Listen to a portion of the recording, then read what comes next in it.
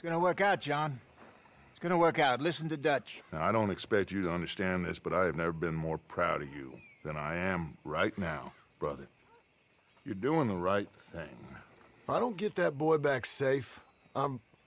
She... She'll kill us all. I know, but looking at this logically, well, that boy is fine. They took him to scare us. Nobody takes a boy to harm him. He's right, John. What do you think, Arthur? The boy will be fine. But, well, of course Marston's scared rotten. I mean, we killed all those people. We stirred up all that trouble. For nothing. No, no, not for nothing. For living. Now, we get that boy back, and we go. Trust me. Hey, Dutch, we got a problem. Not a problem.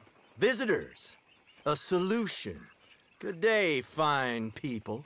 Mr. van der Mr. Matthews, I presume. And who are you? Rip Van Winkle.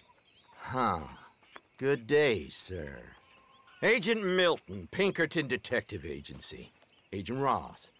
Ah, Mr. Morgan, nice to see you again. And to what do we owe the pleasure, Agent Moron? I don't know if you're aware, but this... this is a civilized land now. We didn't kill all them savages only to allow the likes of you to act like human dignity, and basic decency was outmoded or not yet invented. This thing, it's done. This place ain't no such thing as civilized. It's man. So in love with greed, he has forgotten himself and found only appetites. And as a consequence, that lets you take what you please, kill whom you please, and hang the rest of us? Who made you the messiah to these lost souls you've led so horribly astray? I'm nothing but a seeker, Mr. Milton. You ain't much of anything more than a killer, Mr. van der Linde. But I came to make a deal. It's time. You come with me, and I give the rest of you three days to run off, disappear, and go and live like human beings someplace else. You came for me?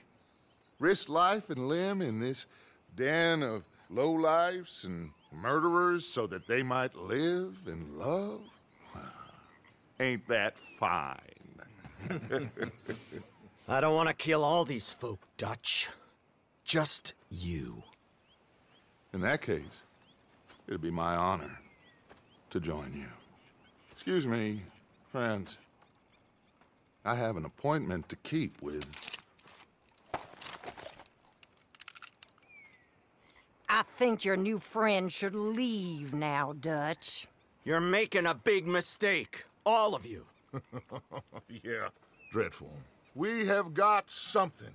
Something to live and die for. How awful for us. Mr. Milton, stop following us. Gone soon. I'm afraid I can't. And when I return, I'll be with 50 men. All of you will die. Run away from this place, you fools! Run! Come on. Get your damn hands off of me, boy. What now? We get out of here. And quick. Any ideas? I know a big old house, hidden in the swamps outside Saint Denis. I'm sure they'll find us eventually, but it should buy us a few days. A few days is all we need. There's a spot out by Shady Belle. Lenny and I got into that dispute with the previous occupiers. Place is well hidden. You and Arthur, right out to make sure no one else has moved in. Lenny, you go follow those fools out of here. Make sure that they leave. And John, we'll get Jack back, and we'll get going. Rest of you, get packing! Come on.